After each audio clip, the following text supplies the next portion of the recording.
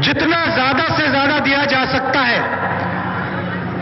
बिना हिंदुस्तान की अर्थव्यवस्था को नष्ट किए, वो नंबर आप मुझे बता देना। वापस आओगे, बिना नंबर बताना। थ्योरी लेकर, किताब लेकर बताना। मुझे नंबर चाहिए। नरेंद्र मोदी ने पंद्रह लाख का झूठा नंबर दिया था। आप मुझे सच्चा नंबर लेके ला के दो।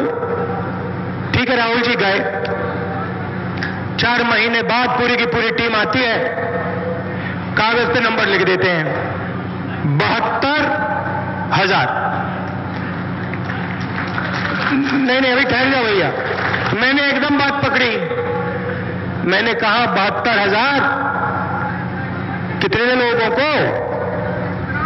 बहत्तर हज़ार। कितने समय में बहत्तर हज़ार से नहीं चलेगा। आप इस कागज़ पर लिखिए, कितने लोगों को और कितने टाइम में। कहते हैं, राहुल जी, आपने पाँच करोड़ परिवारों की बात की थी, पच्चीस करोड़ लोगों की बात की थी। बहत्तर हज़ार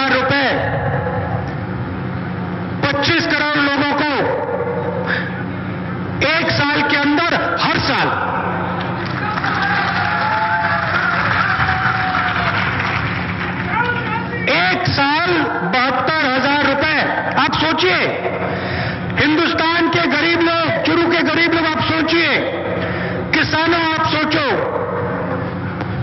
बहत्तर हज़ार रुपए साल के। तीन लाख साठ हज़ार रुपए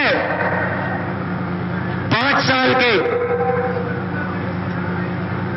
शुरू में लाखों लोगों को, किसानों को, मजदूरों को, डायरेक्ट सीधा बैंक अकाउंट में पाँच साल के अंदर तीन लाख साठ हज़ार रुपए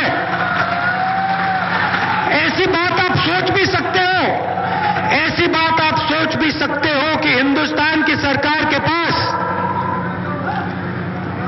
पाँच करोड़ परिवारों को तीन लाख साठ हज़ार रुपए के लिए पैसा है, ये हिंदुस्तान की सच्चाई है भाई और बहनों। झूठ पंद्रह लाख,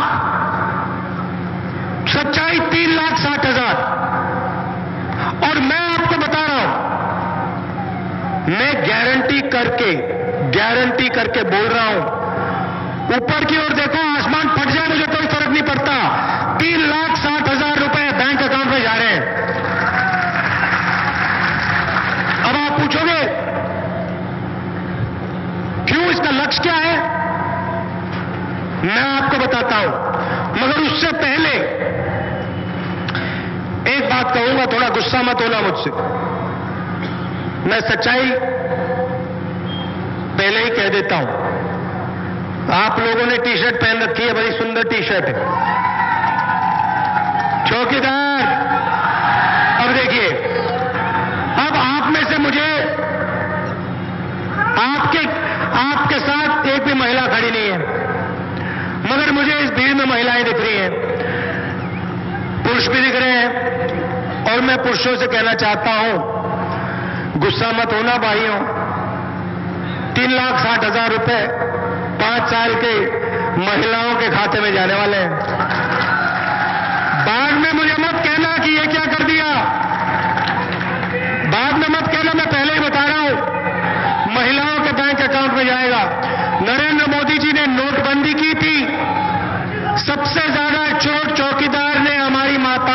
माताओं बहनों को मारी थी। इसीलिए न्याय योजना, इसीलिए न्याय योजना डायरेक्ट महिलाओं के खाते में जा रहा है।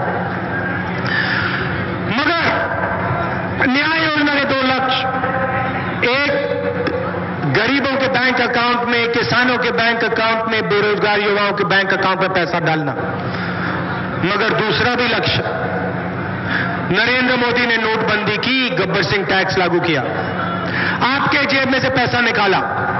जैसे ही उन्होंने चुरू के गरीब लोगों के जेब से पैसा निकाला, किसानों के जेब से पैसा निकाला, मजदूरों के जेब से पैसा निकाला, वैसे ही शुरू की जनता ने, राजस्थान की जनता ने, बाकी प्रदेशों की जनता ने माल खरीदना बंद किया।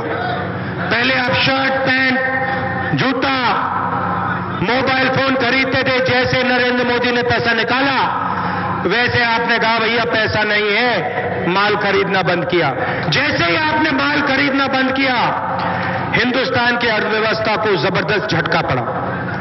दुकानों ने माल बेचना बंद किया, और उससे भी ज़रूरी, हिंदुस्तान की फैक्ट्रियों ने माल बनाना बंद किया।